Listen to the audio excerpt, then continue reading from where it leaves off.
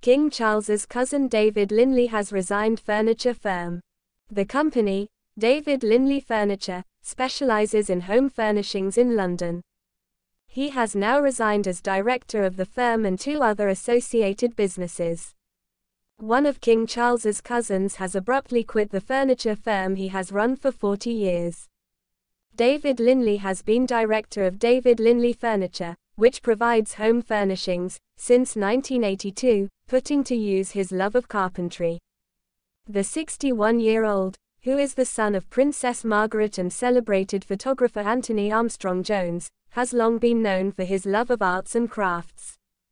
But now the second Earl of Snowdon, who inherited the title after his father died in 2017 aged 86, has now unexpectedly resigned as a director of the company and two other related businesses earlier this year. According to documents filed at